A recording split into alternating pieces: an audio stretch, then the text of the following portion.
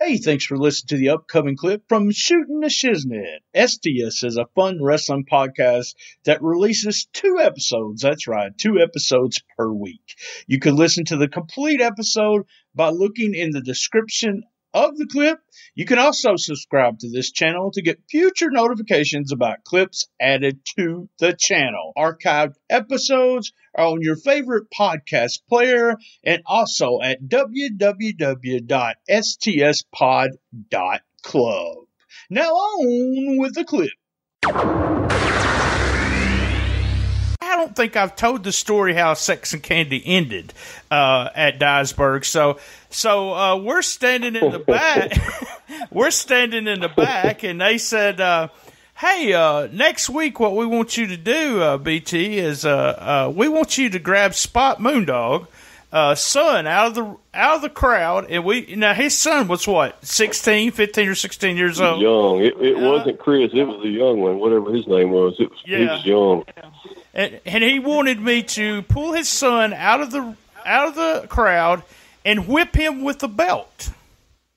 And so in the next week we were going to have a leather strap match with the Moondogs. and uh, Yep.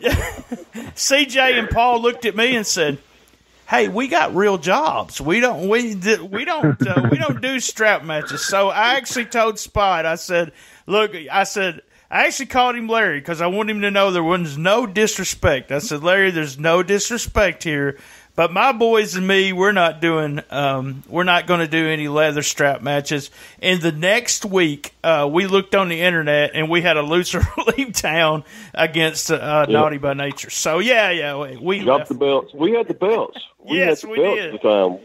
we did. So we had to drop the belts and leave town. And the funny thing is, you know, I, I, we became pretty good friends with Larry after that. And I talked to him, and he said, "You know what, boys, you did the right thing." He said, "Number one, he's too young to be doing that. Number two, it didn't make sense. What would you? I mean, why would you just grab somebody and do that? You know, for no, just to start a feud, it made no sense." And that was one of the things we kind of had to stand up for ourselves and say, you know, this is stupid. We're not doing that. And from that point on, man, when me and John Michael started tagging, he he wa- he made a point to watch all our matches. He would come in; they'd be out back. He would come in to watch our match. He'd say, "Let me know, boys, when y'all are on."